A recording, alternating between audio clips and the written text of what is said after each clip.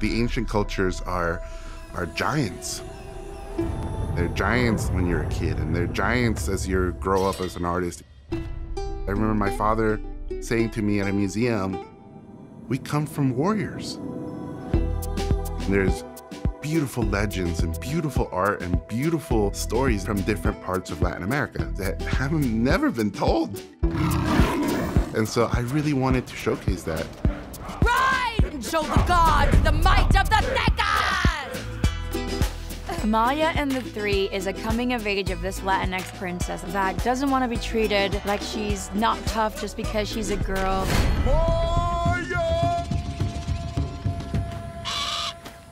When we first started talking about designing Maya, we knew that we wanted to represent a girl that is given in life two routes. You know, she's kind of torn in half. She's a princess, she wants to be the best daughter, but she's also a warrior.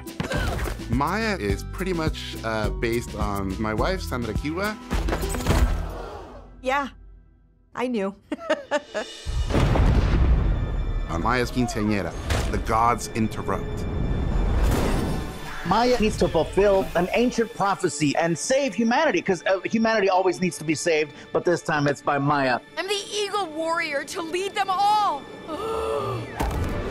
the three are a group of great warriors prophesized to come together to help her take down the god of war.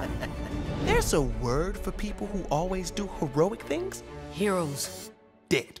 Yeah, the word is dead. In art school, I met artists from Puerto Rico and Peru and Argentina and Brazil. And that became the inspiration for Maya, finding all these different warriors from different lands. They are three teenagers that are broken, but the world is not gonna fix them. Mm. They're gonna fix themselves.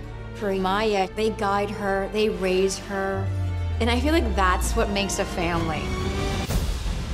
It's so wonderful to have so many diverse artists working with us. Maya is voiced by Zoe Saldaña. If it is to be, it is up to me. We had Diego Luna. Be well, Princess Maya. I'll see you soon. Alfred Molina. Crush these cockroaches. Cheech Marin. I played Kura and Khan, and it was loud and, and a little wet. Danny Trejo, Rosie Perez, Queen Latifah. Allen Maldonado, Gabriel Iglesias. Jorge, call me. I still need a t-shirt, bro. To be a part of this great ensemble cast is an incredible honor. Jorge brings really cool people together, and that happens when you have something that matters.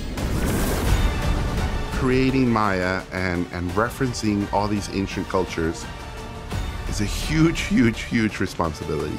We are such a lush culture of flavors and colors.